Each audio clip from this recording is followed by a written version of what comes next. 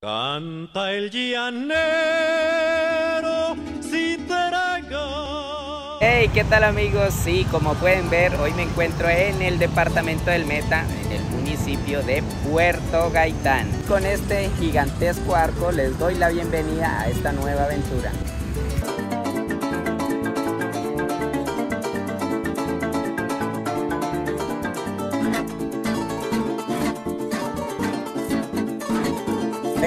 Y Don Olimpo, el dueño de esta panadería, me atendió súper bien y me hizo el favor de guardarme el bolso y me ayudó a conseguir dos contactos que creo que son los que voy a poder ir a, a grabar y a documentar la vida del llanero.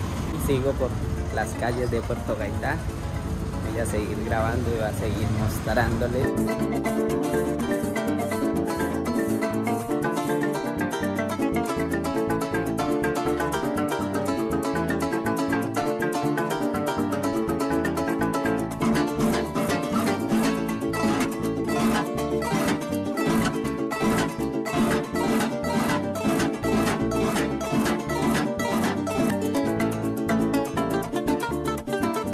Importante de, estas, de estos barcos. Esta que está aquí atrás mío puede cargar 70 toneladas. Esta que sigue ahí puede cargar 200 toneladas. Y esa que está atrás, que creo que no se va a ver mucho, 400 toneladas carga. Y eso es mucho peso. Estos son los, los tractocamiones del agua.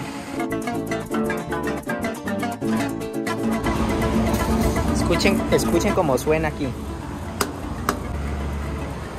Y se debe a este camión. Para todo hay una primer vez y esta es mi primer vez en un río tan grande. Este río se llama el río Manacasías, así que me causa impresión ver. Y la cantidad de, barcos y la cantidad de, movimiento que tiene este río conecta muchas partes del norte de, de los llanos orientales la cantidad de, barcos que maneja, o sea, quiere decir que para el transporte fluvial es muy importante este río. Y kilómetros más abajo hay un sitio donde se unen tres ríos importantes, que es este, el Manacasías, el Yucao y el Meta. Algo que llama harto la atención es que justo aquí está el puerto de agua y aquí está la terminal de transportes. O sea que llegas en tierra y te montas y sigues por agua la ven? después. Y después de este fuerte aguacero continúo con mi recorrido.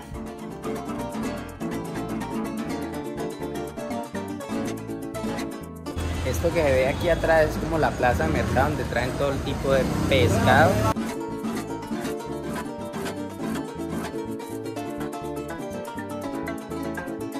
la parte trasera hasta se encuentra el río. Siempre había oído hablar de Puerto Gaitán, pero nunca me, imaginé que tuviera el comercio que tiene. Hay mucha, gente y tiene mucho comercio. Por ahí estuve investigando y en el 2018 tenían aproximadamente 41 mil habitantes. Y aparte de la gente que llega, porque como su nombre lo dice, es puerto, viene mucha gente de otras partes. Pues, las barcas que se ven llevan mucha mercancía por otro lado, entonces claro, es un puerto que mueve mucha economía. Cabe resaltar que es el municipio con más territorio del departamento del Meta y es la puerta a los campos petroleros más grandes del país. En Puerto Gaitán me vine a desayunar a la plaza de mercado a probar el, el pescado porque aquí el pescado es fresco. Justo aquí detrás, justo ahí enfrente pasa el río, no, no alcanza a enfocar bien, pero va a tratar Ahí se ve, ahí esa parte es el borde y ya está el río. Pues y hay una parte donde venden el pescado, tan solo como el puerto del pescado.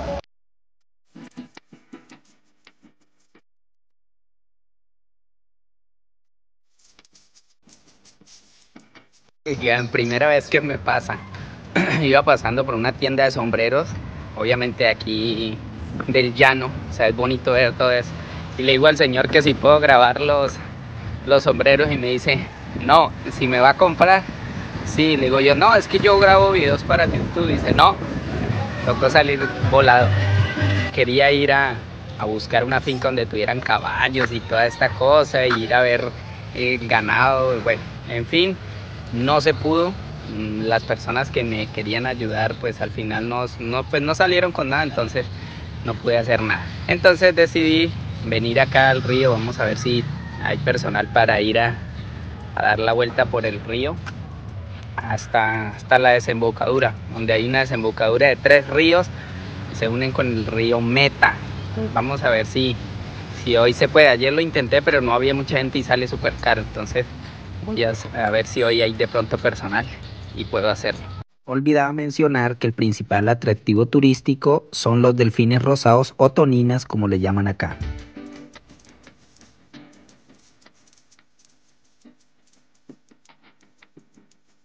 Y mientras hacía la espera en este punto de información que nos administra la señora Ana Cortés, que fue muy amable conmigo, el clima empeoró de un momento a otro, así que tuve que dar por terminado mi recorrido por este bello municipio. Nos despedimos de Puerto Gaitán.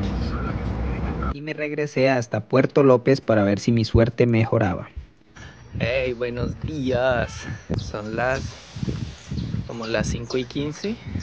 Llegar temprano para ver el amanecer al obelisco. Pues aunque ya me había cogido un poco el día, el plan seguía en subir al mirador que hay en el obelisco y grabar el famoso amanecer llanero. Gracias, pa, muy amable.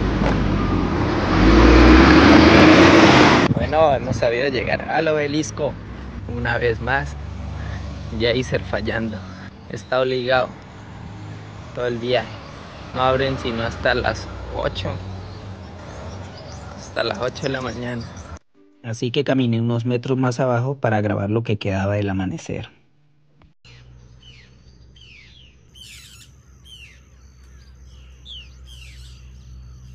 Y aún así fue hermoso. Bueno, sí, señores, estamos aquí en la mitad de Colombia, no, no estamos en la mitad, ya vamos a llegar a la mitad. Ahora sí que se puede decir que estamos en la mitad de Colombia, pero para donde quiera. Hacia el norte, hacia el sur, hacia el este y hacia el oeste.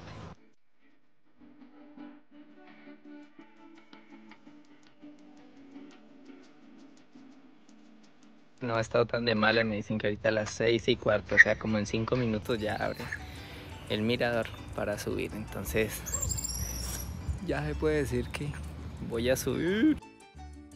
La señora guía me venía comentando que la subida era totalmente gratis y que esto hacía parte de la gobernación del Meta y que lo abrían desde las 6 de la mañana, lo que quiere decir que el señor anterior por pereza o no sé por qué no me quiso dejar de entrar a esa hora. Pero al fin subí y bueno, pues valió la pena porque vaya qué vista tan espectacular. Así que se lo recomiendo si algún día pasan por Puerto López.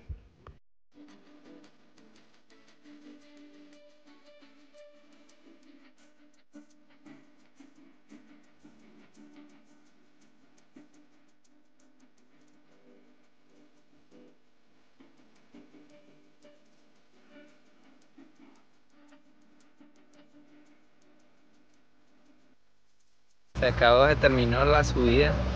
Voy a comer algo. De pronto me, me desmayo.